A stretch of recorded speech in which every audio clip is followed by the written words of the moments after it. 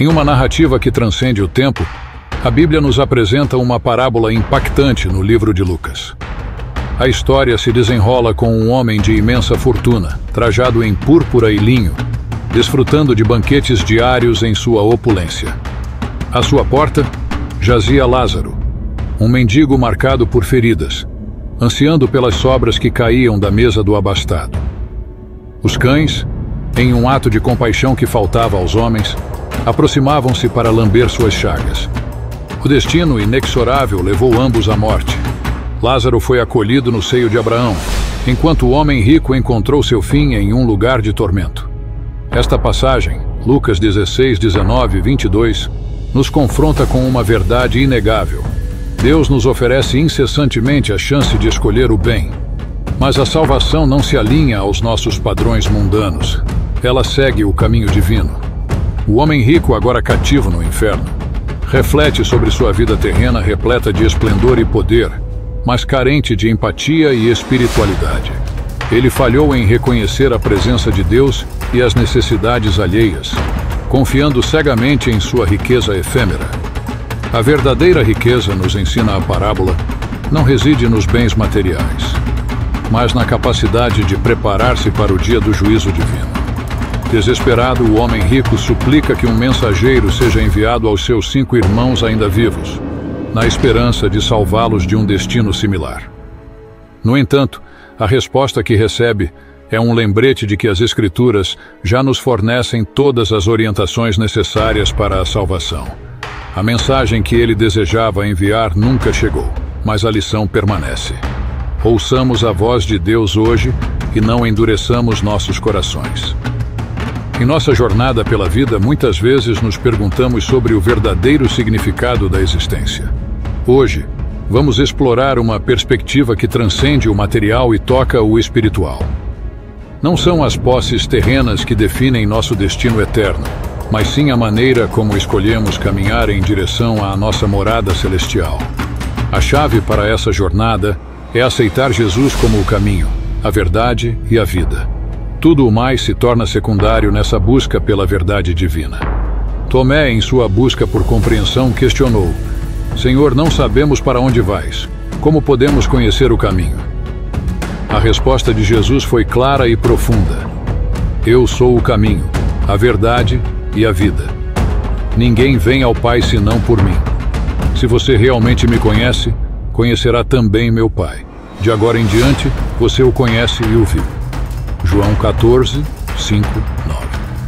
Felipe, buscando uma prova tangível, pediu: Senhor, mostra-nos o Pai, e isso nos basta. Jesus então revelou a conexão íntima entre ele e o Pai. Há tanto tempo estou convosco e não me conheces, Felipe. Quem me viu, viu o Pai. Como podes dizer, mostra-nos o Pai? João 14, 8, 9. A parábola do rico e Lázaro ilustra a cegueira espiritual que pode acometer aqueles que se apegam demais aos bens materiais. O rico, em vida, ignorou Lázaro, mas após a morte, no tormento do inferno, ele suplicou por um simples alívio, uma gota de água que Lázaro não podia fornecer. Filho, lembra-te de que recebeste teus bens em vida, e Lázaro, os males. Agora, ele está consolado, e tu, atormentado. Lucas 16, 25.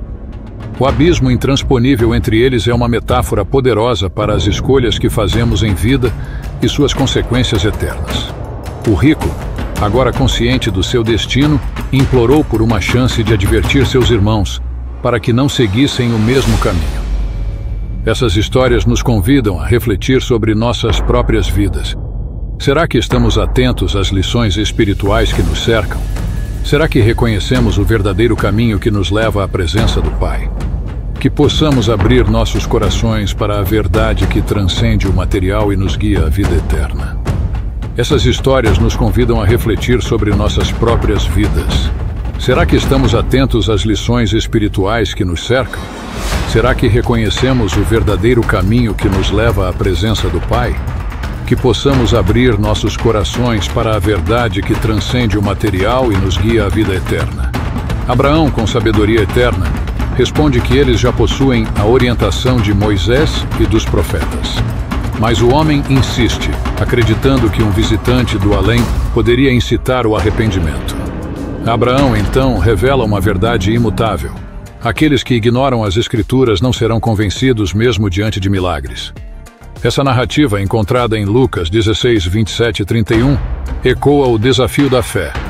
O homem rico, agora ciente de sua falha em ouvir, compreende que seus irmãos podem seguir o mesmo caminho, desdenhando os mensageiros divinos e ansiando por sinais, assim como os fariseus de outrora. A resposta de Abraão é um lembrete solene. A salvação já foi providenciada e buscar além disso é inútil.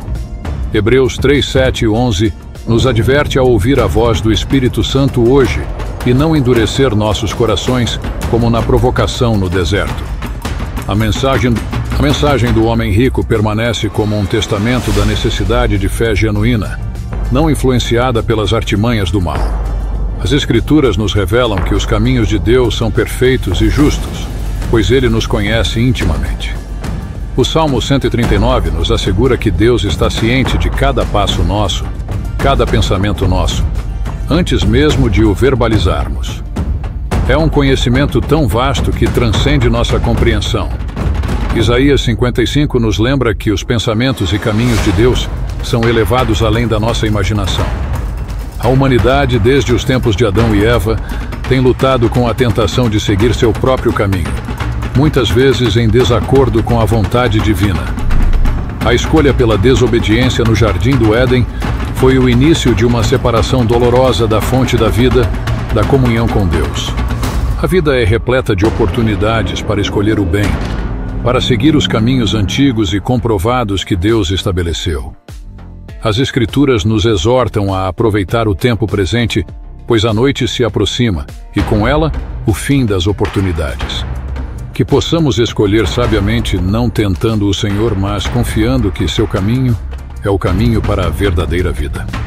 Em uma parábola intrigante, Jesus nos apresenta um administrador astuto cuja sagacidade em tempos de crise revela as complexidades do coração humano. A história começa com um homem rico e seu administrador infiel, cujas ações desencadeiam uma cadeia de eventos inesperados. Acusado de dissipar os recursos de seu senhor, o administrador enfrenta uma encruzilhada.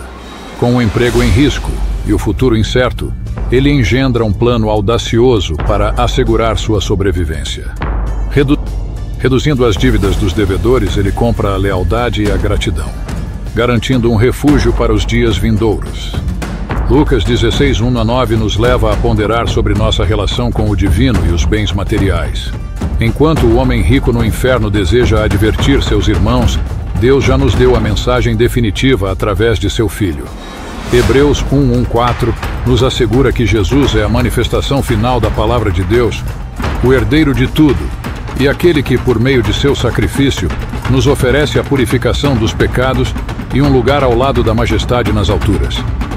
Em um ato de amor eterno, um único sacrifício ressoou através das eras, aperfeiçoando para sempre aqueles que buscam santidade. Hebreus 10,14 nos revela a magnitude desse gesto divino, onde com uma oferta a redenção foi selada. O Antigo Testamento, com suas profecias e visões, sempre apontou para um destino: o cumprimento da lei em Cristo. Ele não é apenas o fim de uma era de mandamentos, mas o início de um diálogo direto com o Pai, acessível a todos que creem. Jesus, o intercessor fiel, pagou o preço total pela nossa salvação, estendendo um convite universal para cruzarmos o abismo que nos separa de Deus. Com gratidão, reconhecemos que tudo o que necessitamos para a vida e a piedade foi providenciado em Jesus. Diante da grandiosidade dos caminhos e palavras de Deus, somos chamados a abandonar nossos próprios planos e abraçar os desígnios divinos. Que nossas vidas sejam um reflexo da gratidão pela salvação inestimável que temos em Cristo. E se hoje você sente o chamado para um encontro transformador com Ele, ou deseja renovar seu compromisso, abra seu coração e aceite o convite para uma jornada de fé renovada.